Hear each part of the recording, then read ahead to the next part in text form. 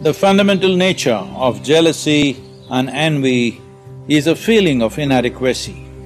If you were really blissful, you would not be envious of anyone. We must understand this.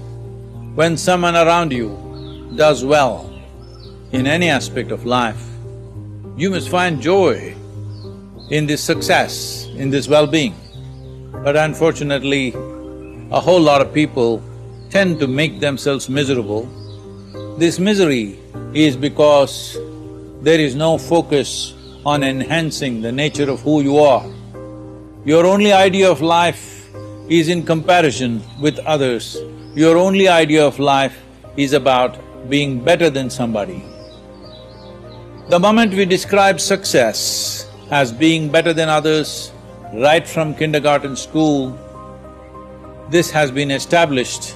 Our education systems and family circumstances and social situations have established this, that you want to be on top of everybody, that is your idea of success.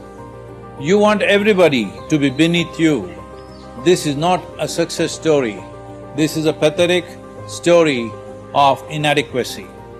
Please do not live in these inadequacies. If you dig deep enough within yourself, there is something so wonderful and blissful so absolutely spectacular, which is life. Do not live just in the confines of your psychological spaces. You are alive. If you touch the dimension of life that you are, you will see you are the most spectacular thing happening in this universe as a life, not as a person. As a person, you are just one more person.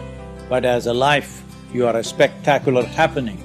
You are here to experience, enjoy and celebrate this life.